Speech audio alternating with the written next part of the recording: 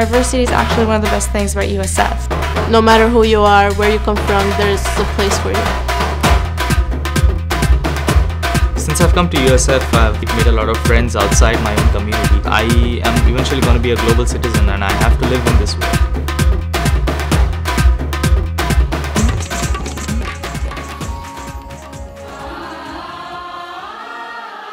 Kiran and Pallavi Patel had this vision of having the University of South Florida be the key anchor for all things global.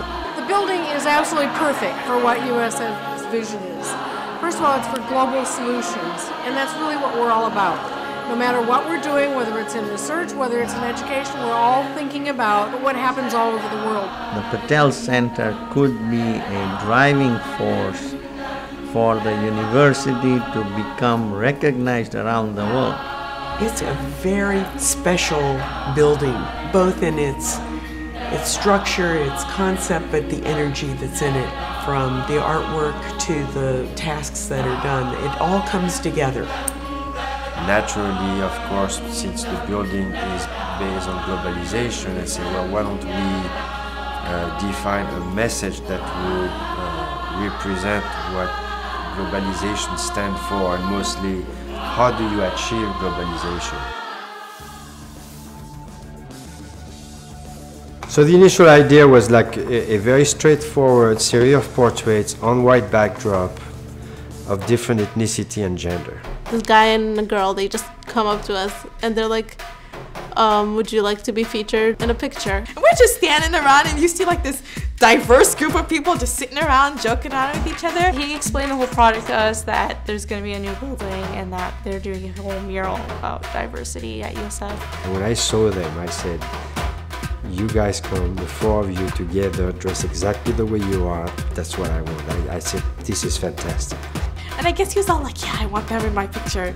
I really wasn't expecting to be in it at all. So I went with the intent that I thought I was gonna go scout it and so I could start letting students know about it. Like get there and they're like, all right, we're ready to shoot. I wanna take pictures of you. And my job was to really mix gender and ethnicity. So, you know, I did the casting and said, okay, here we go. How many guys, how many girls? I'm Palestinian. I'm 100% Chinese. I'm actually Native American and African American. My parents are from Sierra Leone. On one side, I'm from Guatemala, and other side of the family is from southern Spain and northern Africa. I'm Syrian. And I'm Palestinian. When people come into the Patel Center, I want them to be inside this building that was built to figure out all the solutions to the global problem. And I want them to look at all the different faces of all the different people around the world and go, you know what, outside they might all look differently, but never judge a book by its cover because we're all working together for that one common goal, and that one common goal is making the world a better place. It's a great way to represent culture. USF is diverse and there's nothing better you can do to actually showcase the pictures of students who are studying in USF. And me being an Indian myself, I thought, you know, I made it to some wall at least.